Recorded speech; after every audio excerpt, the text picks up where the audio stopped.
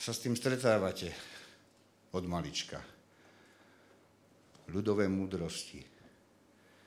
Kto do teba kameňom, pantomíma.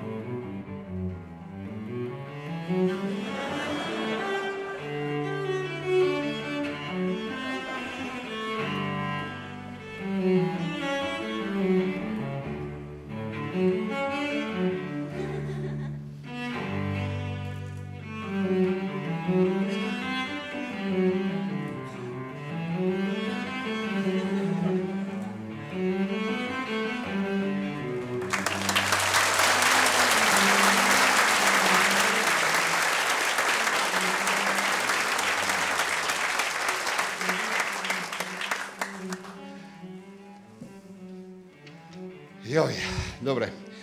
E, tí, čo ma podozrievajú, že si nepamätám, e, vyvediem z omilu. Ja som mal takú trému, a dám prvý raz v živote, aha, sa mi teraz je papier.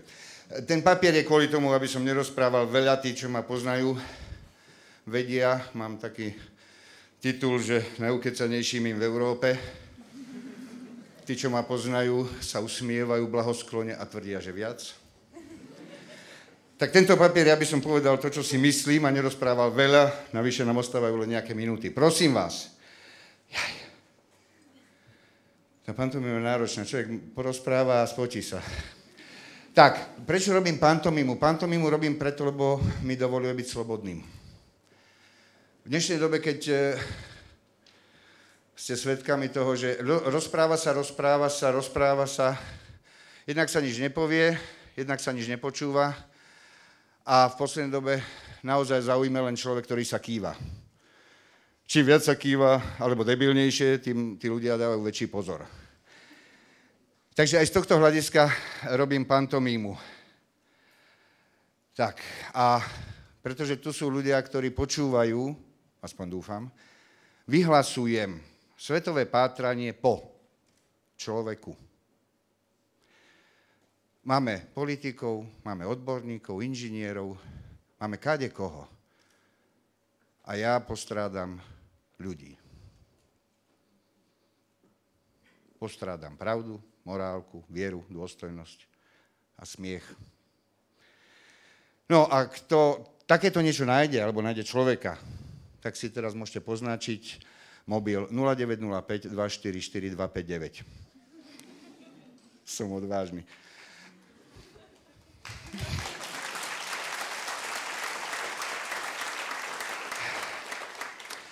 V súkromnom živote naozaj veľa trepem, ale je to taká, taká obrana, aby si ľudia nevšimli, že medzi tým trepaním sú myšlienky.